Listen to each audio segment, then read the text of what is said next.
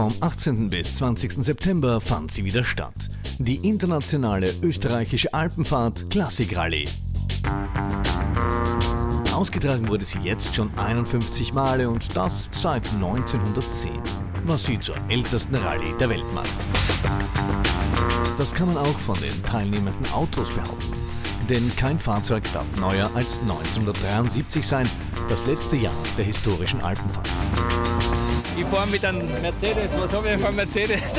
also, äh, die Alpenfahrt ist die älteste Rallye, das weiß ich. Aber ich glaube, mein Auto ist Baujahr äh, 57, das ist alles, was ich weiß. Start und Ziel der 1000 Kilometer langen Strecke ist das idyllische Örtchen Bad Kleinkirchheim in Kärnten. Auch wenn es bei einem normalen Rennen um Geschwindigkeit geht, hier geht es eher um Präzision. Es gibt 25 Sonderprüfungen. Zum Beispiel muss man auf gewissen Streckenabschnitten verschiedene Durchschnittsgeschwindigkeiten einhalten. Wer das nicht schafft, verliert Punkte. Die Gewinner kamen schließlich aus Österreich. Mit einem Alfa Romeo 2000 GTV konnten Dr. Rainer Simak und Magister Georg Simak aus Wien den Sieg einholen.